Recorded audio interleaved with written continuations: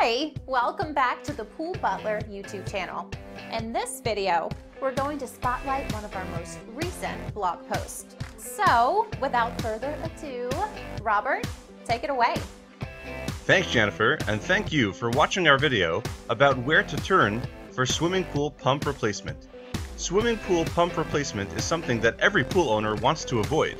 This one piece can easily be the most expensive component of your filtration system.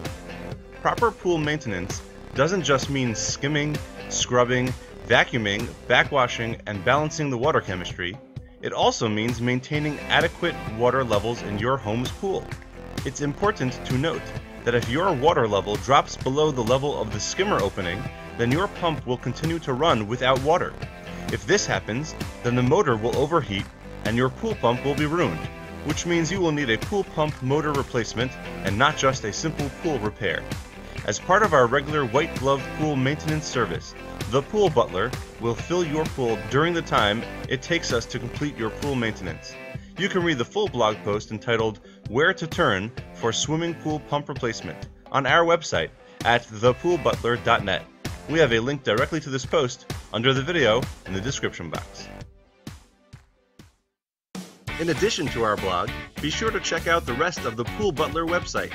We have over six sections dedicated to helping you learn more about us and why we are the absolute best choice for all of your swimming pool maintenance, cleaning, and repair needs in Atlanta. Do you have swimming pool questions? No problem.